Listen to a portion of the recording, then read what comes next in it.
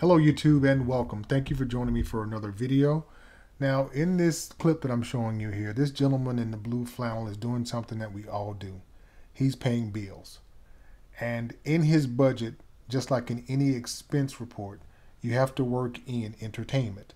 And as we continue to be more dependent on streaming, I'm going to show you guys how you can put money back into your pocket with your Roku device or your Fire Stick and uh, see the long run benefits of it.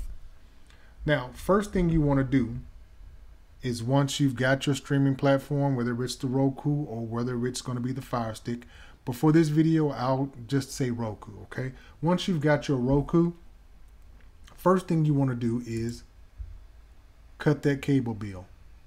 Now, cutting the cable bill, I don't mean cancel it at all. You want to contact your provider and see if they have an option where it's internet only. Now, if you were like me, I had internet and a cable package. Now, most of the carriers, most of the larger ones specifically, have an internet only package. Now, the internet only package is going to be roughly half, if not more, off of what the basic cable package would cost you. So, if you have an option where you can get the internet only, go for it with no add ons none of their TV streaming platforms or anything that they offer for streaming. Now, for example, uh, Xfinity has a internet only plan, and they try to upsell you to get the streaming platform that they have, uh, Xstream or Xstream by Xfinity, and it gives you a lot of things that you don't have to get from them. Basically, put, just get the internet, okay?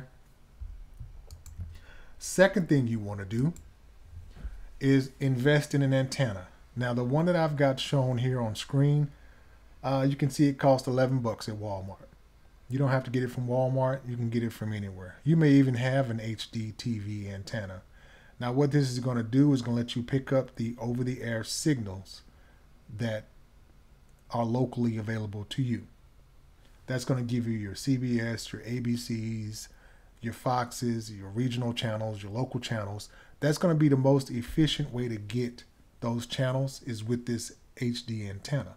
Now, if you are using a Roku TV, every Roku TV has the integrated where they have a live streaming feature within the Roku app. So you would open up the Roku and you would see a icon for live TV. With the antenna plugged in, you're going to pull those live TV channels right into your Roku interface and be able to watch your your local channels right off your antenna through your Roku device.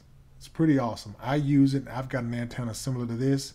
And when I want to watch my local news and I don't want to go through their app or whatever, I can do it with this antenna just by on my Roku TV going to it. Now, if you're not using a Roku television, you're just using a Roku stick or Roku device of some sort, then I still would say invest in this antenna because your television has an input switch where you can change where you're getting your source from. So you would change your source from your Roku over to the antenna and boom, there are your local channels there.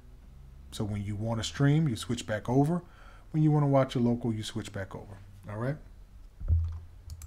And the next way you can really save on your budget with streaming is going to be get one one paid streaming platform. That way, you're not missing out on anything because with so many different options out there, I mean, you've got your your Netflixes, you've got your HBO Maxes, you got so many different options to stream from. The one that I suggest is going to be Disney Plus because you get Disney Plus, ESPN Plus, and Hulu all within one package that's right now as of the recording of this video $12.99 that's cheaper than netflix by itself. So i highly suggest that if you do and you do I, I do suggest that you get one paid platform so that you can get the premium content. And with this you're getting of course all of hulu all of disney plus and all of espn plus. So you're getting your sports you're getting your um, everything from Disney, everything from Pixar, everything from Marvel, everything from Star Wars, everything from National Geographic. ABC, all the companies that Disney owns. You're getting all of that content in one spot for 12 bucks a month. So you've cut your cable bill in half by contacting your provider and letting them know, hey, look, I just want the internet only. That's it. You've done that.